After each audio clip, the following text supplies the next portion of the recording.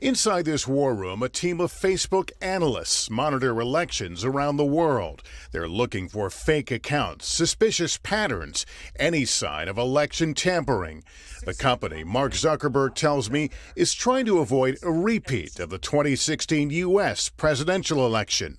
In the last year, um, we've disrupted uh, more than 50 different campaigns from different nation states um, trying to interfere in elections. Later today, Facebook will unveil several new election integrity measures built around transparency, including labeling media outlets that are state controlled. I think it's really important that people can see for themselves um, when media is actually operating as an organ of the government and is being editorially controlled there. The move to call out foreign actors comes as Facebook is embroiled in controversy over political ads at home, criticized for refusing to pull a Donald Trump ad that contained false claims about Joe Biden.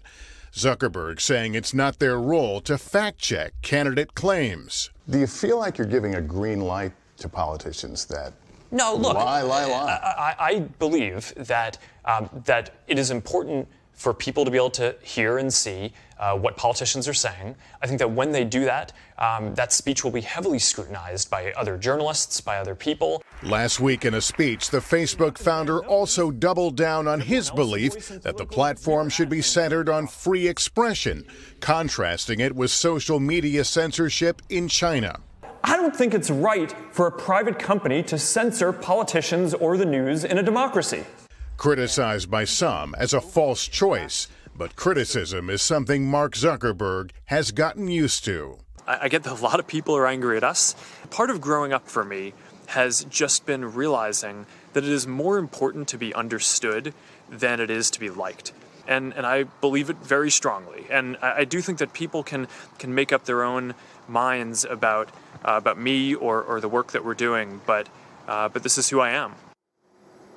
And Mark Zuckerberg's confidence in this next election, he says, is due to their changed approach from being reactive to now more proactive. He also credited his confidence to the more than 35,000 people he says are working on security and a budget greater than the whole revenue of the company when it went public.